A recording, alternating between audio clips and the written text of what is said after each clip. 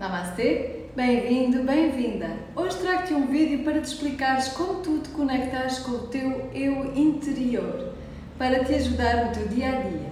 Todos nós temos acesso a essas respostas. As respostas que nós precisamos estão bem dentro de nós.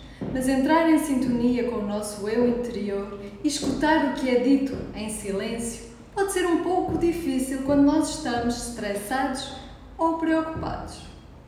Aqui eu vou-te deixar algumas recomendações em três passos para que tu cries uma rotina diária para comunicar com os teus anjos e guias espirituais, para estabelecer metas e poder receber orientação divina e espiritual.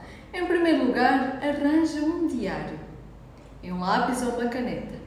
Escolhe uma área da tua vida para tu te focares. Pode ser amor, trabalho, saúde, o que tu quiseres. A seguir, escreve no diário todas as tuas emoções, as preocupações que sentes a respeito desse assunto. Podes imaginar que estás a falar diretamente com os teus anjos e guias. Não é imaginação, porque realmente nós estamos a falar. Mas podes imaginar que estás a falar com o teu eu superior ou com a tua fonte de orientação espiritual com quem tu tens mais afinidade. Este processo faz com que sintas que alguém te está a ouvir e vai libertar espaço mental para permitir que a orientação divina chegue até ti. É como falares com o teu melhor amigo ou amiga. Ao expressar como tu te sentes, tu vais-te começar a sentir muito melhor. Ao desabafares, arranja espaço para emoções positivas, mesmo que não tenhas ainda soluções. Continuas a escrever sobre a tua preocupação, até que comeces a sentir-te mais calmo. O passo seguinte pode ser feito em dias alternados ou, se estiveres inspirado, aproveita e faz agora até o final do vídeo. Ora bem, agora é a hora de tu fazeres uma pergunta. Faz uma pergunta sobre a situação que te preocupa. Agora que estás mais calmo, vais escrever a pergunta que tu gostarias de fazer diretamente ao teu anjo ou guia espiritual. Procura fazer perguntas diretas e abertas para obteres o máximo de informações sobre a situação. Eu deixo alguns exemplos de perguntas diretas. O que eu preciso saber sobre esta situação? Como posso me sentir mais calmo e em paz sobre esta situação? Qual é o próximo a dar, passo a dar sobre esta situação? Como também podes pedir, como posso evoluir espiritualmente? Os anjos e guias vão te responder. Podes escrever ou falar em voz alta, ou podes fazer as duas coisas ao mesmo tempo. Mas faz isso no momento de reflexão, quando tu estiveres calmo, em paz e sozinho, sabendo que não vais ser interrompido. A seguir, vais escrever a resposta.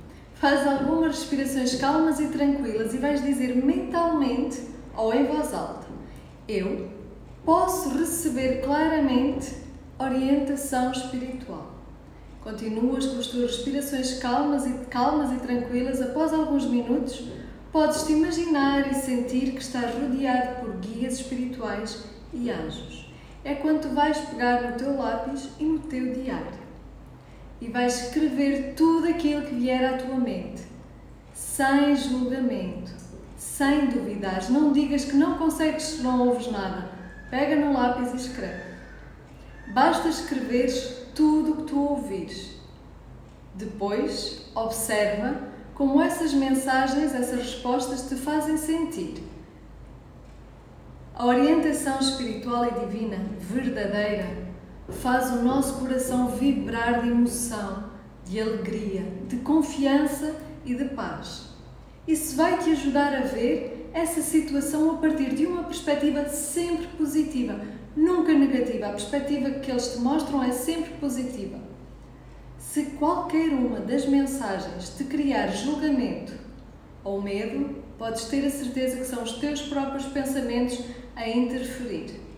Então, vais colocar os teus pensamentos e preocupações de lado e vais repetir processo. Pedes a orientação divina e escreves a resposta que vier à tua mente. Às vezes pode ser uma luta, A vida pode ser complicada, mas lembra-te que temos sempre ajuda espiritual ao longo do nosso caminho.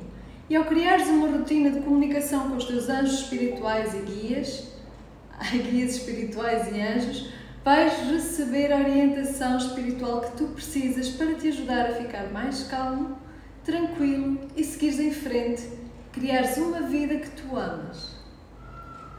Guardas o teu diário sempre por perto de ti, para também que possas anotar os teus sonhos e os insights que começas a ter a partir do momento em que tu crias esta conexão.